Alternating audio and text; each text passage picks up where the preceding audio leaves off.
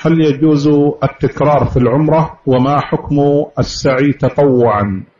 تكرار في العمرة يجوز لا مانع منه لأنه لم يرد منع من التكرار بل الرسول صلى الله عليه وسلم يقول تابعوا بين الحج والعمرة. لكن ينبغي أن يكون بين العمرتين وقت. يكون بين العمرتين وقت ينبت فيه شعر الرأس ويكون فيه شيء يحلق أو أو يقصر. ما تكون العمر متقاربة. وأما السعي فلا يتطوع به أبدا وإنما يطاف لحج أو عمرة.